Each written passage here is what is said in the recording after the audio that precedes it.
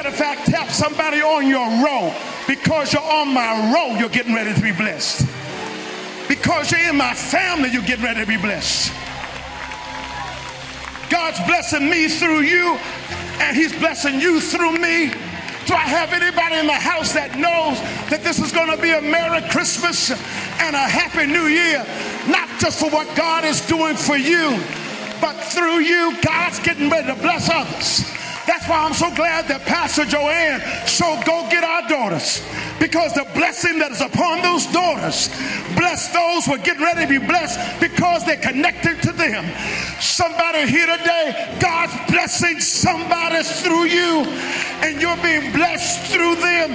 And if you believe it for yourself, can you hug somebody and say, I wish you a Merry Christmas and a blessed New Year? Because what God started, He's getting ready to finish. Do I have a witness in the house? Why is all this happening? The Living Bible says that because Mary believed that what God said was going to come to pass. Do I have any believers in the house? Despite what it looks like, give a neighbor a holy high five and say, I still believe. Despite the obstacles I'm facing, I still believe. Despite the financial challenges that are going to make it happen, I still believe. Despite the sickness in my body, I still believe. Despite all that I'm going through in my life uh, and all the weight I have on my shoulders, I still believe. But I like how the King James Version says it.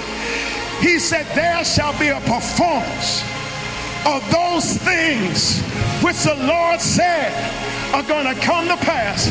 Can you look at somebody and say, I can't wait for the performance? Hallelujah.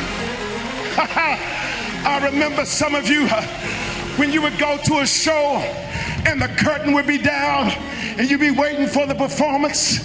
I remember when I saw Isaac Hayes and the curtain was down and then all they showed was a silhouette and all that sudden the music da-da-dun da-da-dun da-da-dun da-da-dun da-da-dun da-da-dun-da.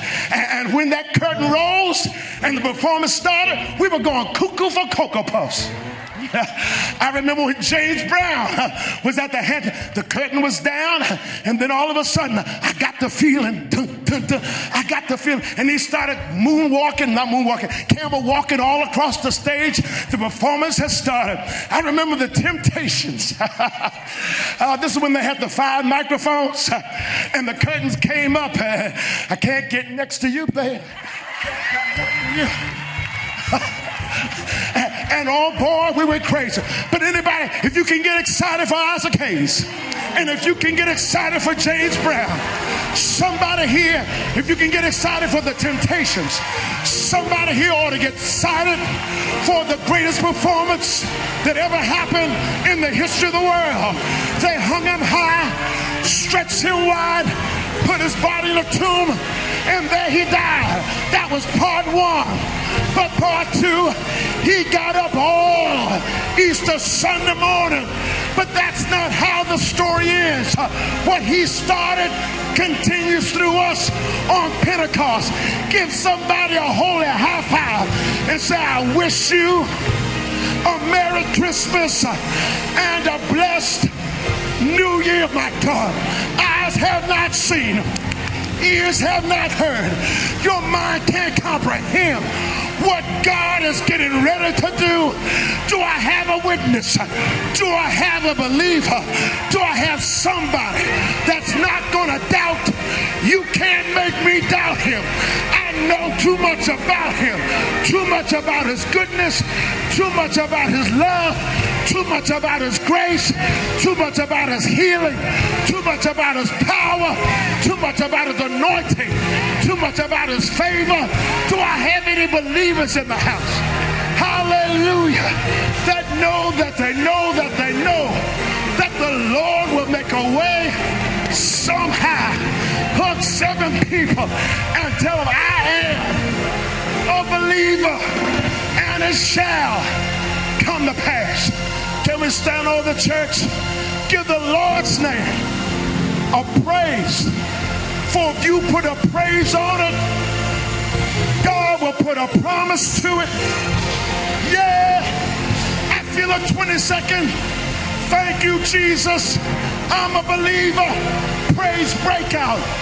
Merry Christmas and a Happy New Year. I don't know about you, but I feel some jingle bells. Yeah, and it's the power of the Holy Ghost. Hallelujah. Hallelujah. Hallelujah. I see it for you and I see it for you and I see it for you and you and you and you and you and you. Hallelujah. Can you give Pastor Jo Ann a hand praise as she takes us to the bridge? Hallelujah. Come on, Ebenezer. Come on and give him some praise. Someone screaming. Come on and give him some praise. If the Lord has brought you through, and you're going to have a Merry Christmas and a Happy New Year. Life has overwhelmed you, but the Lord brought you through. Life has overwhelmed you, but the Lord brought you through. You, but the Lord has brought you through. And because He brought you through before, you come with anticipation and expectation. If He did it before, He'll do it again. I said, if He did it before, He'll do it again. If He brought you through before, He'll bring you through again. If He's blessed you before, He'll bless you again. If He's made ways out of no ways, He'll do it again. If He turned it around before, He'll do it again. And again. And again. And again. And again. And again. And again. And again. Hallelujah. Stand all over the church. Stand all over the church. If you have, I just did it to let the devil know he's a liar. he's a liar. They said I'd never throw again, but I had to let the devil know he's a liar. He's a liar. Stand all